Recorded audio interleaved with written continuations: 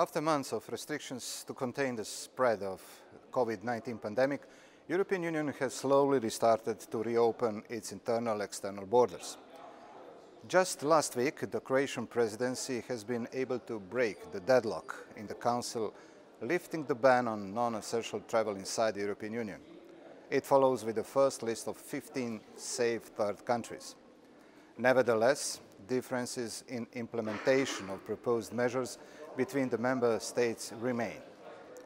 We know that tourism and the travel will most likely not return to normal anytime soon. Touristic operators are facing an unprecedented economic crisis. Up to 6.4 million of jobs are at stake in the European Union. I come from Croatia, a touristic destination in which tourism generated almost 20 percentage of overall GDP in 2018. I do understand the consequences of the crisis on overall national and European economy. As the president of the SEARICA Intergroup, I reiterate the commitment of its members to defend the maritime and touristic sector's needs. We need to preserve its strategic role during and after the crisis. We have to ensure adequate funding to help these sectors to overcome the crisis. We also have to use the crisis to shift from over-tourism to sustainable tourism. This is why the European Parliament is calling for additional measures to save the European Union's tourism and travel sectors and make it future-proof after COVID-19 crisis.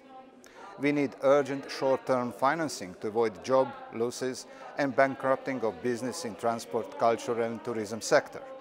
Moreover, we call for the separate budget line on sustainable tourism in the new MFF that is currently missing. New European Union financial programs have to reflect the importance of promoting sustainable tourism.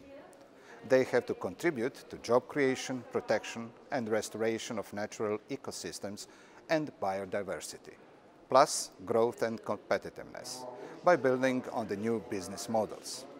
European Union needs a shift towards more sustainable, innovative, resilient and high-quality tourism products and services. This would further contribute to sustainability, out-of-season travel and geographical dispersion of tourism flows. Finally, European Union must ensure proportionate funding opportunities to finance a long-term strategy for recovery that puts digitalization and sustainability at its core. Thank you for your attention.